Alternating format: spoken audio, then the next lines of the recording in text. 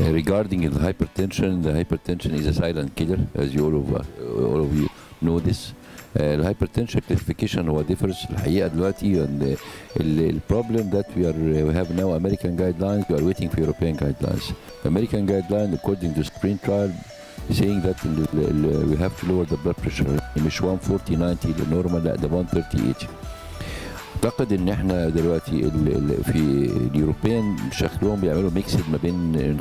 ال- ال- اليوروبيان القديمة وبين الأمريكان. فميبي إن إحنا هنمشي على إن 140 90 ده نورمال بريشر بس إن هاي ريسك بيشنتس وي هاف يوت ان 130 اتش هاي ريسك بيشنتس اللي هم عندهم اثيروسكوتيك ديزيز يعني أو اسيمتوماتيك سيربروفاسكولار ديزيز أو اوريدي عنده عنده هارت فيلير أو عنده كوروني ارتي ديزيز أو رينال أو بريفرال كل دول هاي ريسك بيشنتس الناس دول لازم ياخدوا دراجز السكند بوينت في البلاد بريشر اللي هو وين يوز ذا دراج لا سنجل أو مونوثيرابي ولا كومبايند هو أساسا لو هو دينوفو وي كان يوز مونوثيرابي But if there is no response وفي difference between 2010 يعني 20 systolic 10 diastolic we can use combination. في ناس بتقول لا you start from the beginning الناس اللي عندهم uh, high blood pressure uh, more than 130 90 وعنده um, more than two risk factors يبقى needs to uh, combination therapy. يبقى the risk stratification of the patient not only the number of blood pressure but also the uh, risk stratification. The use of combination therapy عندك في الفيرست first هي ار بيز with diuretics or with calcium blockers, their patient profile, and we have to, respect these uh, drugs in home, uh, very safe drugs.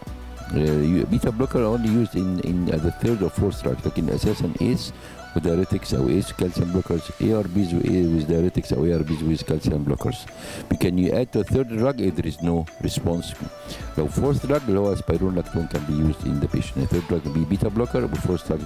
ده drugs اللي انت هتستخدمها in hypertensive patient. In coronary patients uh, البروبلم of the coronary that you have uh, uh, ان إحنا عندنا coronary artery disease اللي فيه non modifiable risk factors و modifiable risk factors. ال non modifiable اللي هم الايج والسكس والفاميلي هيستوري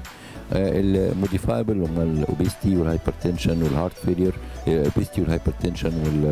والسموكر والليبيدز والانكزايتي والدايابيتس طبعا. ال- الحاجات دي لو أنا عندي مور ذان تو ريسك فاكتورز وواحد من الميجر واحد من ال من